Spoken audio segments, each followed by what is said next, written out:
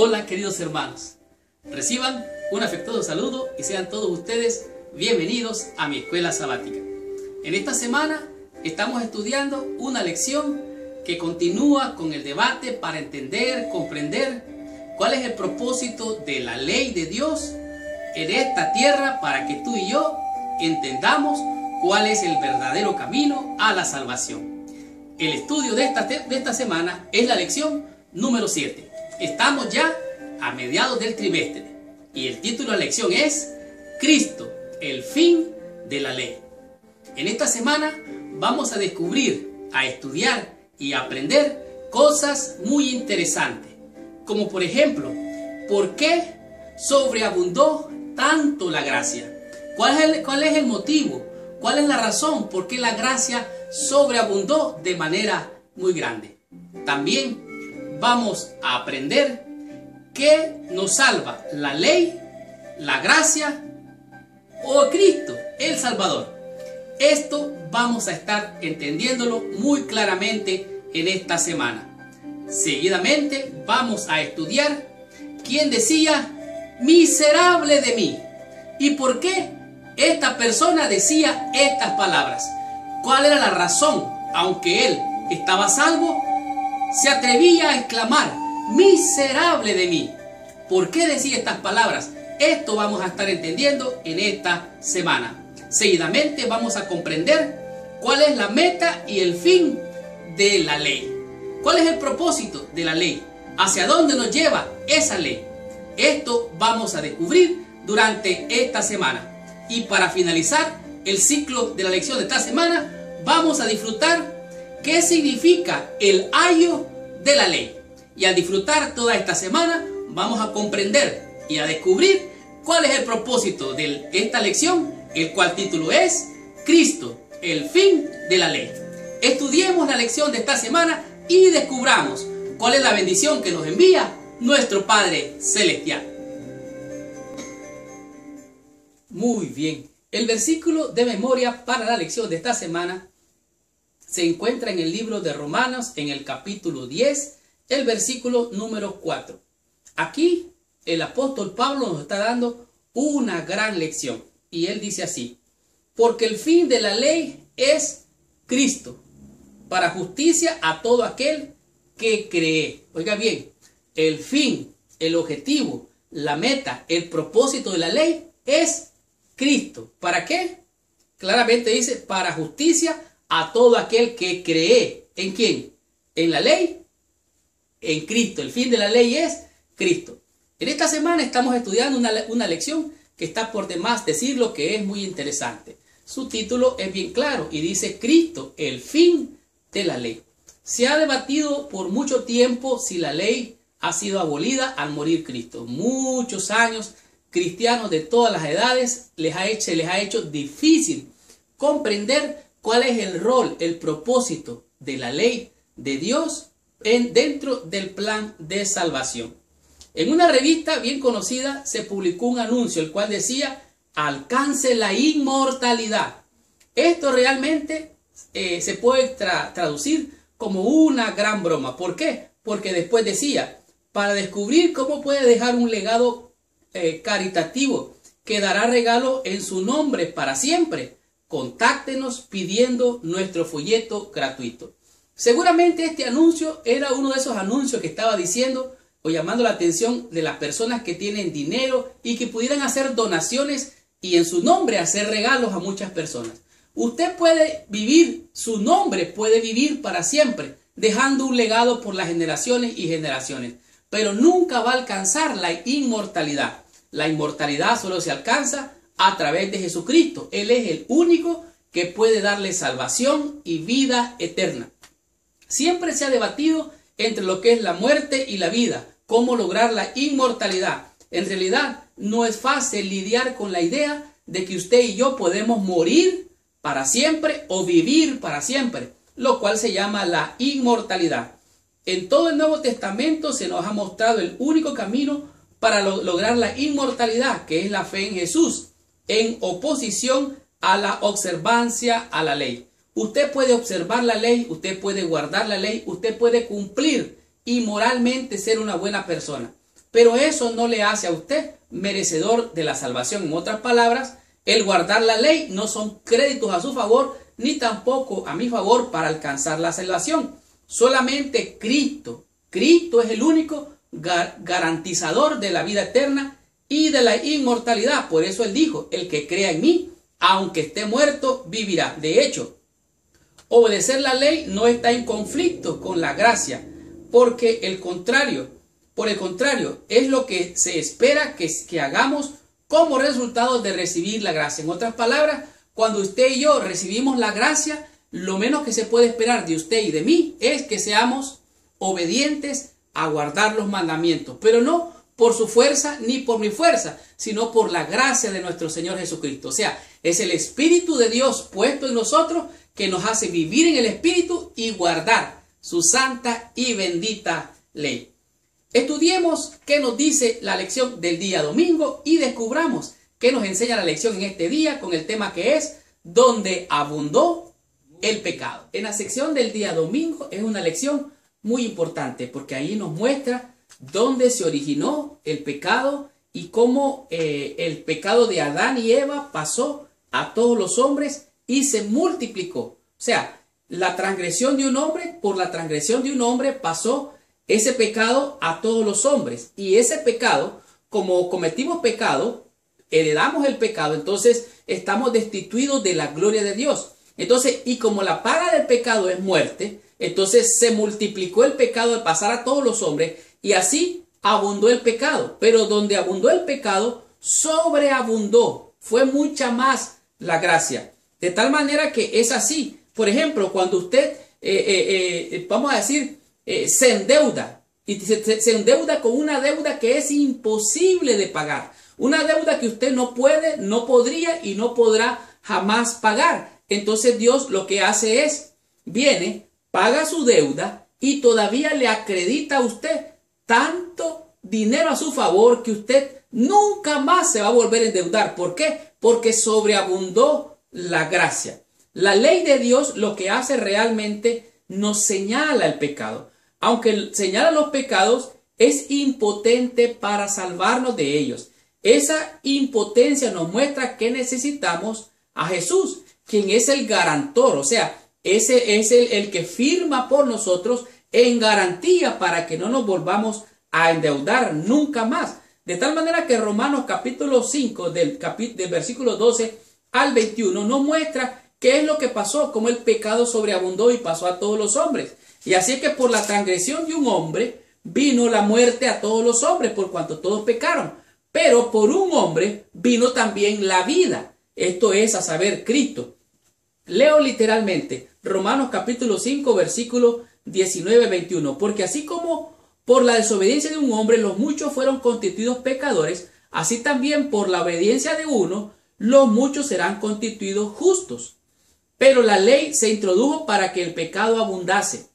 Mas cuando el pecado abundó, sobreabundó la gracia, para que así como el pecado reinó para muerte, así también la gracia reine por la justicia para vida eterna, mediante Jesucristo, Señor nuestro. Así es que el pecado pasó a todos los hombres, abundó el pecado, pero la gracia sobreabundó. De tal manera que usted tiene crédito suficiente para no volverse a endeudar jamás. Pablo dice eh, que cuando abundó el pecado, sobreabundó la gracia. Es decir, no importa cuán malo sea el pecado, la gracia de Dios es suficiente para cubrirlo en aquellos que reclaman las promesas de fe. De tal manera que usted solo tiene que reclamar esa bendición.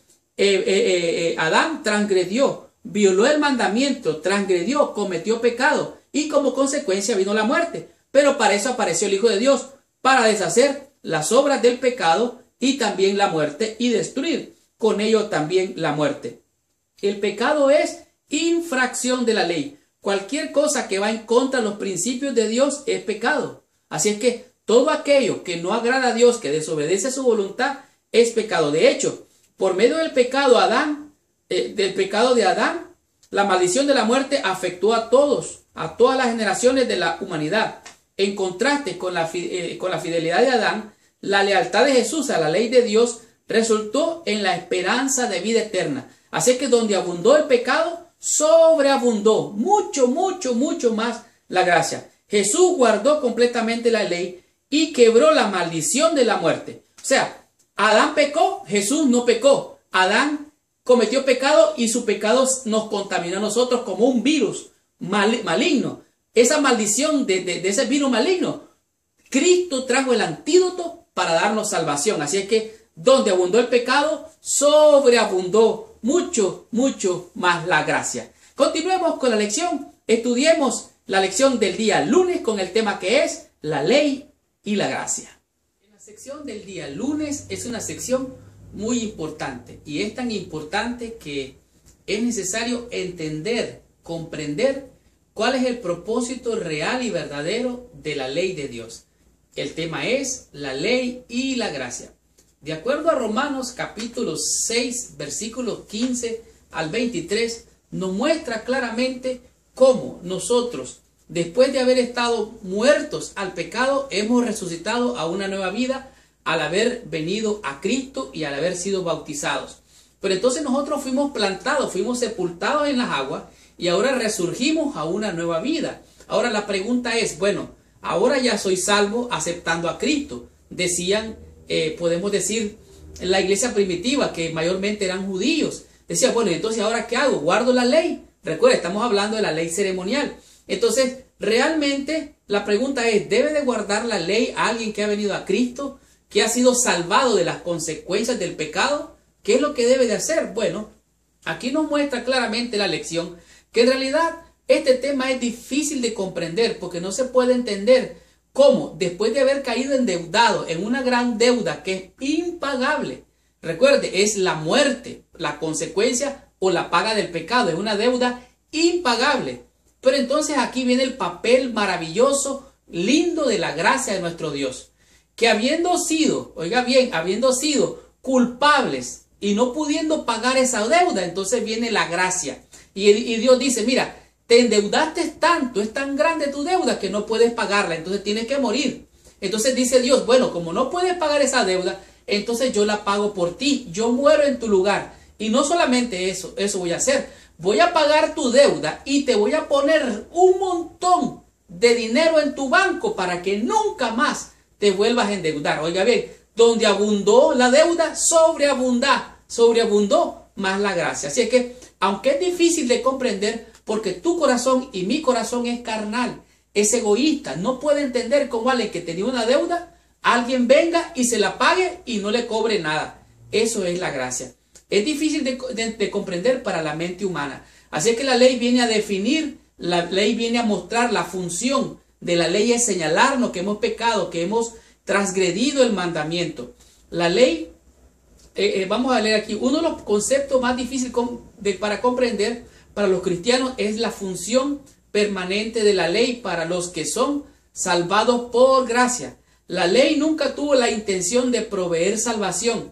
Su función, después de la caída de Adán, era definir el pecado. Así es que, ¿cuál era el propósito de la ley? Era definir qué era pecado. Transgrediste, pecaste en esto, en esto y en esto. Estás endeudado, no puedes pagarla. Entonces ahora viene el papel de la gracia. Así es que Hemos sido salvos de la muerte, hemos sido salvos de la condenación, hemos sido rescatados del pecado y ahora, dice el apóstol, ya no reine más el, pecado en vosotros, sino que el que aquel que se somete a algo para, para, cometerlo como era, éramos, eh, por así decirlo, eh, esclavos del pecado y esclavos del diablo realmente. Ahora vino la justicia de Dios para rescatarnos, para salvarnos, para liberarnos de la condenación de la ley. Y ahora hemos de ser siervos para justicia. Por eso dice, presentaos ante Dios y servir con vuestros cuerpos, con nuestra mente, con nuestras manos, con todo. ¿Para qué? Para el servicio de Dios. Así es que la ley señala, demuestra, define el pecado y de esta manera nos incrimina que estamos culpables. Ella define que es pecado. La gracia y la ley no son opuestas. No se niega la una a la otra. Por el contrario, están fuertemente conectadas. La ley, por cuanto no puede salvarnos, salvarnos, nos muestra por qué necesitamos la gracia. O sea, estábamos condenados, estábamos endeudados. Por eso necesitamos a alguien que nos rescatara, que nos liberara, que nos pagara esa deuda. De tal manera que la gracia no se opone a la ley, sino a, la muerte. Nuestro problema no es la ley en sí misma, sino la muerte eterna que resulta de la violación de esa ley. Ahora, las consecuencias del pecado, o sea, donde abundó el pecado, sobreabundó la gracia. Pablo dice a los cristianos que no pequen básicamente, les está diciendo, guarden la ley, obedezcan los mandamientos. Así es que Pablo está recomendando que en nosotros, aunque hemos sido salvos, no de la ley, ni, ni, sino de la condenación de esa ley. Pablo está diciendo, tienen que obedecer a la justicia. Antes como obedecían al mal, ahora obedezcan a su Señor. Así que tú te sometes al Señor, tú eres ahora siervo de Dios y yo soy siervo de Dios. Los que han obrado mal deben arrepentirse de sus pecados y humillarse ante Dios, cuya, justa ira han provocado la violación de su ley. Y deben también ejercer fe en la sangre de Cristo como único medio de perdón. O sea, cuando tú estabas condenado, cuando yo, estábamos, cuando yo estaba condenado, al ver a Cristo crucificado, hecho pecado por mí, entonces ahora vino mi pecado y reconozco. De esa manera yo veo mi pecado. No solamente reconozco, sino que me arrepiento, pido perdón y al pedir perdón, entonces ahora viene la gracia del Señor, su amor, su misericordia, me lava de todo pecado y de toda maldad y me hace siervo de la justicia de Dios que es por fe y para fe. Leo aquí, versículo 17 de Romanos capítulo 6. Pero, por, pero gracias a Dios que aunque estáis esclavos del pecado, habéis obedecido de, corazón a aquella forma de doctrina a la cual fuisteis entregados. Versículo 22, mas ahora que habéis sido liberados del pecado y hechos siervos de Dios, tenéis por vuestro fruto la santificación y como fin la vida eterna. Somos libres de la condenación, somos siervos de Dios para salvación, para salvación tuya y para salvación mía, apareció la gracia. La ley nos señalaba, definía y nos condenaba, pero Cristo vino para que tuviéramos vida y la tuviéramos en abundancia. Somos salvos de la muerte, no de la ley. Somos justificados y no eximidos de la culpa y del pecado y de transgredir la ley. La ley señala, define y condena, pero Cristo es el que salva y su gracia es suficiente. Cristo salva a todo que cree en él. Por eso es que dice San Juan 3:16, porque de tal manera amó Dios al mundo que ha dado a su Hijo unigénito. ¿Para qué? Para que todo aquel que en él cree, oiga bien, cree, es presente continuo, cree, tenga, no, perezca, sino que tenga vida eterna. Porque no envió su Hijo, a Dios a su Hijo para condenar al mundo, sino para que el mundo sea salvo por él y por él. De la... Muy bien. En la sección del día martes es una exclamación que realmente puede sacudir el pensamiento de todo individuo. ¿Cómo es posible que una persona que está salvo por la fe, que es un eh, pregonero de justicia, puede eh, exclamar estas palabras? Miserable de mí, ¿quién me librará de este cuerpo de muerte? Esta fue la exclamación del apóstol Pablo que nos encontramos aquí en Romanos en el capítulo 7.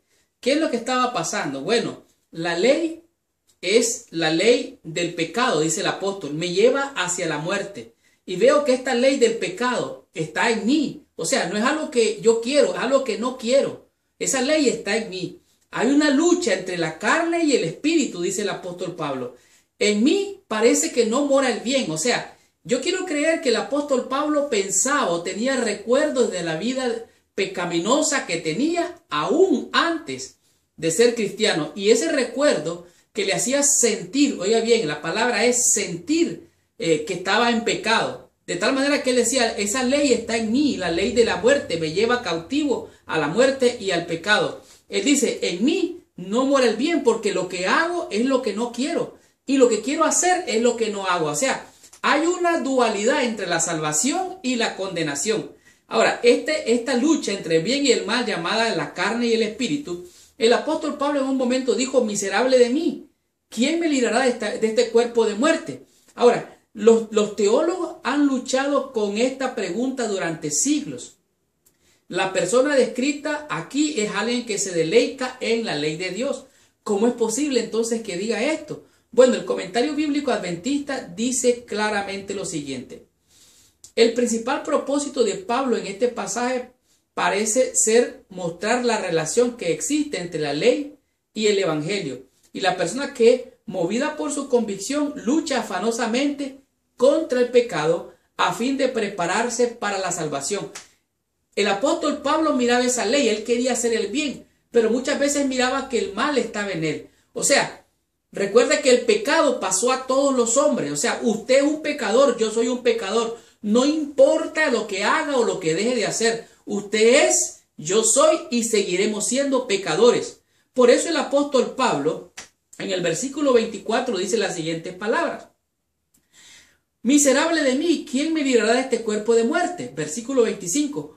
Gracias doy a Dios por Jesucristo el Señor nuestro. Así que yo mismo con la mente sirvo a la ley de Dios, más con la carne a la ley del pecado. O sea, la ley del pecado está en nosotros. No hay nada ni que, podamos hacer. Solo Cristo nos puede salvar. Por eso el apóstol Pablo decía estas palabras. El Evangelio es la buena nueva de salvación. Y el pecado, dice, mora en mí. Por eso necesitamos la salvación, porque el pecado mora en nosotros. Solamente es Cristo el que salva.